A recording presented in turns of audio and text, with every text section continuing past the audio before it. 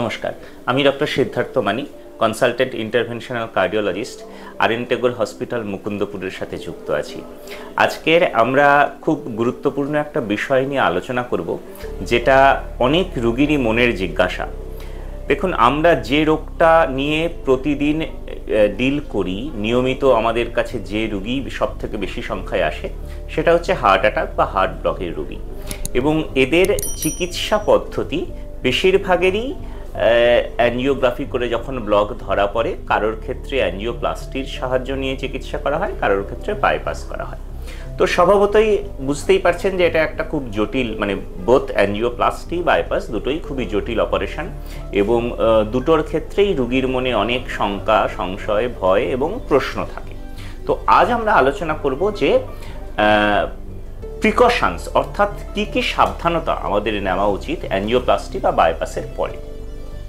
কারণ যখনই অ্যানজিওপ্লাস্টি বা বাইপাস হচ্ছে, তখনই আমরা রুগীদের কাছ থেকে এই প্রশ্নটাই শুনতে পাই যে এরপরে আমাদের কি কি সাবধানতা অবলম্বন করতে হবে বা এরপরে কীভাবে চলবো, কি খাব কতটা কাজ করতে পারব ইত্যাদি নানা প্রশ্ন। তো আজ আমরা সংক্ষেপে সেই সমস্ত প্রশ্নগুলোকে অ্যাড্রেস করার চেষ্টা করছি।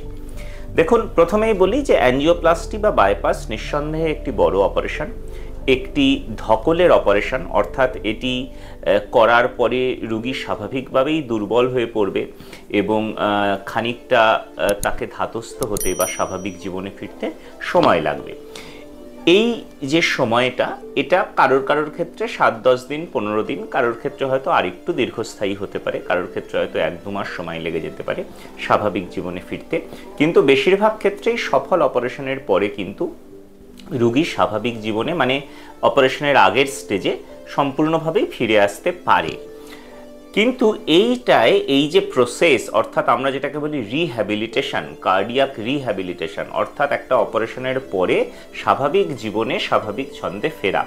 এই ফেজে কিন্তু কোনো তাড়াহুড়ো করা উচিত নয়। অর্থাৎ সময় নিয়ে ধীরে ধীরে স্বাভাবিক ছন্দে ফেরা উচিত। অর্থাৎ আপনি অপারেশনের পরে সুস্থ আছেন, তার পরের দিনই, দুদিন পরে কি তিন দিন পরেই একেবারে নর্মাল কাজকর্ম নর্মাল হাঁটাহাঁটি নর্মাল স্পিডে মর্নিং ওয়াক কিংবা অফিস যাওয়া বাসে ট্রেনে পাবলিক ট্রান্সপোর্টে এই যে জিনিসগুলো, এগুলোকে একটু স্লোলি স্লোলি আমাদেরকে শুরু করতে হবে। অর্থাৎ ধরুন, আগে আপনি এক ঘণ্টা খুব স্পিডে হাঁটতে পারতেন, এখন আপনার অ্যানজিওপ্লাস্টি বা বাইপাস হয়েছে। আপনি যখন প্রথম আবার ছন্দে ফিরছেন, প্রথম দিকে দশ মিনিট হাঁটুন, পনেরো মিনিট হাঁটুন, এক সপ্তাহ সেটা কন্টিনিউ করুন এবং তারপরে যখন আস্তে আস্তে দেখবেন যে হ্যাঁ আমি কমফর্টেবলি সেটা করতে পারছি, কোনো অসুবিধা হচ্ছে না, তখন সেটাকে বাড়িয়ে বিশ মিনিট, তিরিশ মিনিট করুন। আবার কিছুদিন চলুক তারপরে যদি দেখা যায় সেটাও কমফোর্টেবলি করতে পারছেন, তখন আপনি আস্তে আস্তে thirty minutes forty five minutes বা ওয়ান আওয়ারে নিয়ে যান। ঠিক একইভাবে আপনি ধরুন অফিসে একটা কাজ করতেন, আগে হয়তো সারাদিন সকাল থেকে সন্ধে অবধি বসে কাজ করতেন। এখন আপনি যখন জয়েন করছেন, পনেরো দিনের মাথায় কি এক মাসের মাথায়, আপনি প্রথম দিকে অফিসের পারমিশন নিয়ে বা ডাক্তারের থেকে লিখিত পারমিশন নিয়ে আপনি দু ঘণ্টা, তিন ঘণ্টা অফিস করলেন। চেষ্টা করলেন বাসের ট্রামে ঝুলতে ঝুলতে না গিয়ে একটু কমফর্টেবলি গাড়ি করে বা ট্যাক্সি করে বা পার্সোনাল কারে করে কিছুদিন গেলেন। যখন দেখবেন যে আপনি ধাতস্থ হয়ে যাচ্ছেন, আপনি আস্তে আস্তে আপনার সময় স্প্যানটা বাড়ান টাইম স্প্যানটা বাড়ান এবং দেখবেন দু থেকে তিন মাস কারোর ক্ষেত্রে হয়তো খুব রেয়ারেলি আমরা দেখি আরেকটু বেশি লাগছে আদারওয়াইজ দু থেকে তিন মাসের মধ্যে কিন্তু রুগী মোটামুটি স্বাভাবিক অবস্থায় ফিরে আসে। কিন্তু এই ফেজে তাড়াহুড়ো করাটা উচিত নয় বা অনেক রুগী আমাদের ক্ষেত্রে, আমাদের কাছে আসে যে এরকম আমরা শুনতে পাই, রুগী বলছে, দেখি আমি পারি কি না এইটা করতে গিয়ে হয়তো পনেরো দিন বাড়িতে বিশ্রামে ছিল, তারপরে যেই ডাক্তারবাবু বললেন যে হ্যাঁ আপনি আবার ভালো আছেন, আস্তে আস্তে কাজে ফিরুন। পরের দিনই হয়তো গিয়ে, আমি পারি কিনা দেখি, ভাবতে গিয়ে অনেকটা কাজ করে ফেললেন বা একেবারে বাজার করে ফেললেন, ভারী ব্যাগ বয়ে ফেললেন বা এইটা করতে গিয়ে রুগী কিন্তু আবার অনেক সময় ডিকম্পেনসেট হয়ে যায়।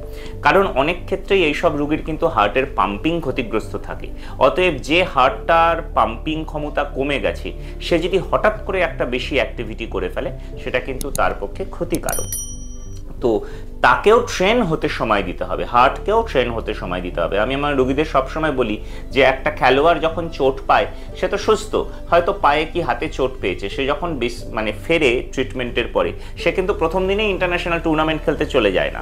সে প্রথমে বাড়িতে প্র্যাকটিস করে, তারপর পাড়ায় প্র্যাকটিস করে, তারপর নেট প্র্যাকটিস করে, তারপরে আস্তে আস্তে ম্যাচে নামে। তো ঠিক একই পদ্ধতি আমাদেরকেও অবলম্বন করতে হবে।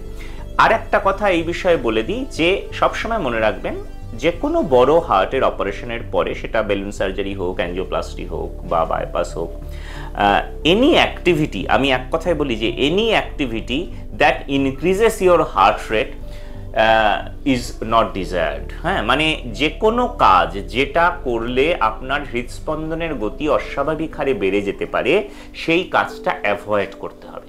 সেই কাজটা না করাই ভালো। এইবারে আপনি বুঝে নিন সেটা যে কোনো কাজের ক্ষেত্রে অ্যাপ্লিকেবল হতে পারে। যেমন ধরুন, জোরে সিঁড়ি ভাঙা। আপনি যদি জোরে জোরে দুতলা সিঁড়ি ভেঙে ফেলেন, আপনার বুক ধরপর করবে। এটা স্বাভাবিক মানুষের ক্ষেত্রেও হবে, আপনার ক্ষেত্রে রুগীর ক্ষেত্রে আরও বেশি হবে। তাহলে সেই কাজটা আপনাকে অ্যাভয়েড করতে হবে। আপনি দুতলা সিঁড়ি উঠুন, কিন্তু ধীরে ধীরে উঠুন, সময় নিয়ে উঠুন। আপনি যদি বাইক বা স্কুটার চালান, দেখবেন আপনার অতটা ফিজিক্যাল এক্সারশন হয় না। কিন্তু আপনি যদি সাইকেল চালান, অর্থাৎ প্যাডেল করেন, তাহলে দেখবেন আপনার হৃদস্পন্দনের গতি কিন্তু অনেক বেশি বেড়ে যাচ্ছে।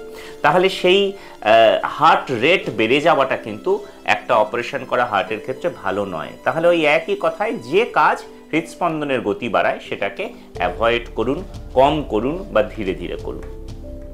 এটা গেল অ্যাক্টিভিটির কথা। এরপরে অনেকে আচ্ছা অ্যাক্টিভিটি সূত্রে আরেকটা কথা বলে নিই মর্নিং ওয়াক বা হালকা এরোবিক এক্সারসাইজেস যেটা যোগা টিচাররা বা অনেকে ট্রেনাররা আছে যারা দেখায়, সেগুলো কিন্তু হার্টের পক্ষে ভালো। আমরা রেকমেন্ড করি ইভেন আফটার অপারেশন যে thirty to forty five minutes morning walk করা ভালো। সেটা ওই ইনিশিয়াল ফেজের পর থেকে, অর্থাৎ প্রথম তিন মাস, চার মাসের পর থেকে আস্তে আস্তে আপনি মর্নিং ওয়াক যদি করেন, সেটা হার্টের পক্ষে কিন্তু ভালো। এরপরে আসা যাক যে খাওয়া দাওয়া খাওয়া দাওয়ার ক্ষেত্রে প্রথমেই মানতে হবে যে আমাদের অয়েলি ফুডস তেলজাত যেগুলো খাবার, যেমন ঘি, মাখন চিজ এই ধরনের খাবার যতটা সম্ভব কমাতে হবে। আমরা সবসময় বলি মিনিমাম মানে যেটা আমাদের অয়েলের কাট অফ বা লিমিট সেটা হচ্ছে একজন মানুষের সারা মাসে এক লিটারের কম তেলে সমস্ত খাবার শেষ করা উচিত, সারা মাসে। এবং তার মানে কি হলো? ধরুন বাড়িতে যদি দুটি লোক থাকে, তাহলে সারা মাসে দু লিটার তেল। এইভাবে আপনি সহজেই হিসেব করতে পারবেন। এই তেলের ফিফটি পার্সেন্ট সর্ষের তেল ব্যবহার করবেন ফিফটি পার্সেন্ট সাদা তেল ব্যবহার করবেন।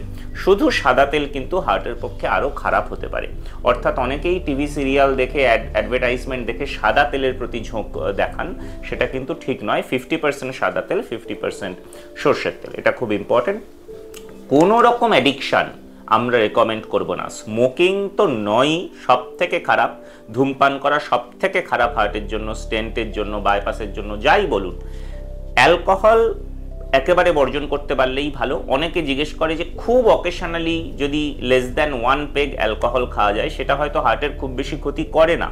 কিন্তু সেই নিয়ন্ত্রণটা অনেকেই রাখতে পারেন না। সেই জন্য আমরা ডাক্তার হিসেবে কিন্তু মদ্যপানকেও বা অ্যালকোহলকেও সম্পূর্ণ বর্জন করতে বলি। টোব্যাকো ইন এনি ফর্ম, অর্থাৎ অনেকে দাঁতে, দাঁত মাঝে টোব্যাকো দিয়ে, তামাকজাত জিনিস দিয়ে, গুড়াকু দিয়ে, অনেকে তামাক মুখে খান মানে বিভিন্ন পান মশলার মধ্যে বা জর্দা যেগুলো আর কি তামাকজাত চিবানোর জিনিস ওরাল এ, সেগুলোও বর্জন করতে হবে। এবং যে কোনো মানে অ্যাডিকশান কোনো দিক থেকেই রেকমেন্ডেড নয়। চা, কফি অনেকে জিজ্ঞেস করেন, যদি আপনি সীমিত সংখ্যায় খান, ধরুন দিনে দুবার, তিনবার যদি চা বা কফি লিমিটে লিমিটেড পরিমাণে খান, তাতে খুব একটা অসুবিধা হয় না। সবজি, ফল সবই খাওয়া যেতে পারে। কিছু কিছু হার্টের রোগ থাকে যেখানে রক্ত পাতলা রাখার ওষুধ দেওয়া হয়। সেক্ষেত্রে ডাক্তারবাবুরা আলাদা করে বলে দেন যে সবুজ গ্রিন ভেজিটেবলস অনেক ক্ষেত্রে খাওয়া যায় না। সবুজ সবজি বা সবুজ শাক, সেগুলো বলে দেওয়া হয়। কিন্তু ওভারঅল রেকমেন্ডেশন বললে তেল, তেলটা কমাতে হবে। যেরকম আমি পরিমাণ বলে দিলাম, সেটা খেতে হবে, বাইরের ফাস্ট ফুডস অ্যাভয়েড করতে হবে। এছাড়া কিছু কিছু নিয়ম, বিশেষ করে ডায়াবেটিক্সদের ক্ষেত্রে মিষ্টি অ্যাভয়েড করা বা কার্বোহাইড্রেট অ্যাভয়েড করা। কার্বোহাইড্রেট অর্থাৎ চাল বা গমজাত যে জিনিসগুলো, ভাত, রুটি, সেই পরিমাণগুলো কমাতে হবে এবং সবজি, ফল ফাইবারজাত খাবার প্রোটিনজাত খাবার এইগুলোর উপরে বেশি জোর আমাদের দিতে হবে। এবং কিছু কিছু রুগীর কিন্তু কিডনির সমস্যা থাকবে, কিছু কিছু রুগীর কিন্তু হার্টের পাম্পিং বেশ কম থাকবে তাদের ক্ষেত্রে জলের পরিমাপ মেপে দেওয়া হয়। কাউকে হয়তো এক লিটার সারাদিনে কাউকে হয়তো দেড় লিটার সারাদিনে সেটা কিন্তু নিয়ম করে মানতে হবে। অনেকেই এটাতে অনেক ঢিলেমি করেন, এটা কিন্তু করবেন না, কারণ জল যদি মানে যার জল কম খাওয়া দরকার, সে বেশি জল খেলে কিন্তু হার্ট ফেলিওর হয়ে যাবে এবং পা ফুলে যাবে, মুখ ফুলে যাবে, অনেক রকম সমস্যা হবে। তাহলে খাবারের যে তালিকা, সাধারণত আমার আমার কাছে যে রুগীরা ভর্তি হয়, তাদের ছুটির সময় সবাইকেই আমি ডায়েট চার্টের ব্যবস্থা করি। তো সেই ডায়েট চার্টে আলাদা করে সবজি, কতটা মাছ, কতটা দুধ, কতটা সব কিছুই মেনশান থাকে। সেটা ফলো করতে পারলে তো খুব ভালো। দেখবেন হসপিটালে ভর্তি থাকার সময় ঠিক ওই রকম প্যাটার্ন ফলো করেই, ওই রকম ভাবেই খাবার বা ব্রেকফাস্ট বা লাঞ্চ দেওয়া হয়। সেটা যদি ফলো করতে পারেন, সবচেয়ে ভালো। অনেক সময় সময়ের সাথে সাথে আস্তে আস্তে আমরা অতটা নিয়ম করে বা ওজন মেপে খেতে পারি না।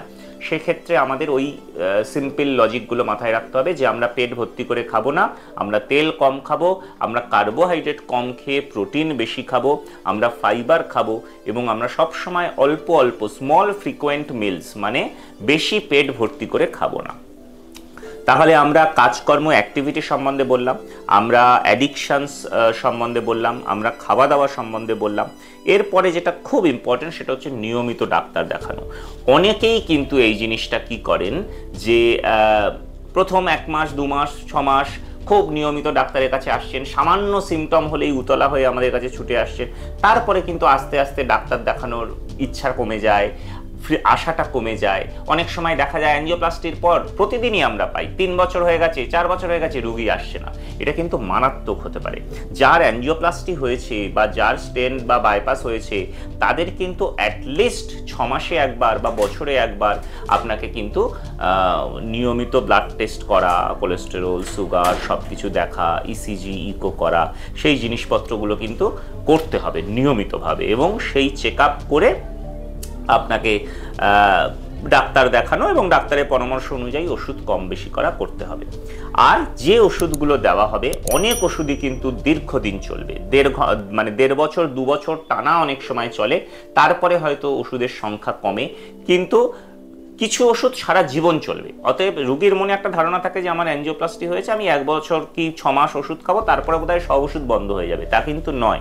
ওষুধের সংখ্যা কমতে পারে, কিন্তু বাকি কিন্তু সারা জীবন চলবার কিছু ওষুধ থাকে, যেটা লাইফ লং কন্টিনিউ করতে হবে। সেখানে কিন্তু কোনো ভুল করা চলবে না।